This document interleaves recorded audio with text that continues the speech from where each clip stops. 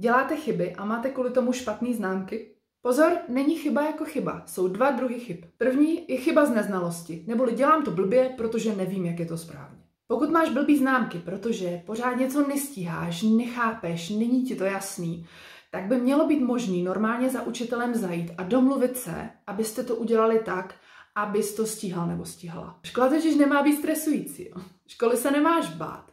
Škola má být něco, co tě motivuje se rozvíjet a makat na sobě. A dobrý učitel se ti fakt snaží pomoct a nabízí ti různý způsoby práce a různý způsoby hodnocení, aby si zažil nebo zažila úspěch. Pokud to nedělá, pokud tě v tom nechá plavat, kašle na tebe, nechce ti pomáhat, tak je to špatný učitel.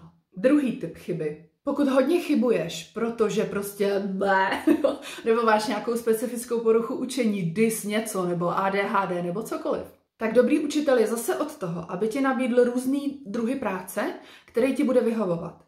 A když pořád děláš chyby a nějak se to jako nelepší, tak je třeba se na to podívat úplně jinak a nabídnout ti způsoby teda kontroly těch chyb. Stejně jako každý dobrý manažer v práci počítá s tím, že lidi prostě dělají chyby, proto nastaví dobrý systémy kontroly, tak i učitel by ti měl pomoct nastavit systémy kontroly. Jo, když děláš hodně pravopisných chyb, no tak budeš psát ve Wordu a on to za tebe zkontroluje. Když víš, že děláš neustále chyby v základních výpočtech, tak budeš používat kalkulačku. Prostě nic se neděje, takhle to normálně funguje. V normálním světě se snažíme vyřešit to, co nám zabírá moc času a věnovat se tomu, v čem jsme dobrý, protože to nás bude živit. Pokud to nějaký učitel vidí jinak, tak prostě není v kontaktu s realitou úplně.